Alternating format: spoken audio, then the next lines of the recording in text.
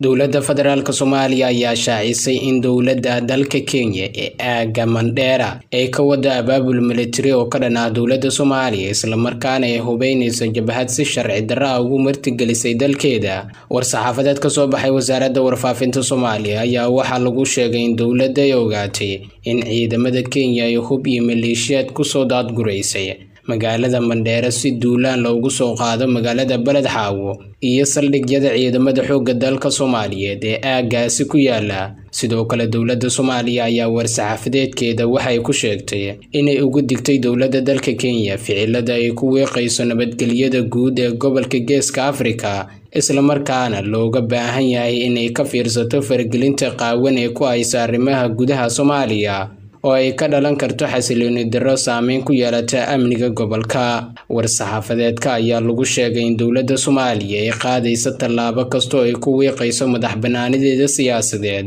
wadajirkeeda dhuleed iyo ilaalinta sharafka iyo karaamada shacabka jamhuuriyadda federaalk soomaaliya ayaa lagu yiri war-saxaafadeed ka soo baxay dowladda federaalk soomaaliya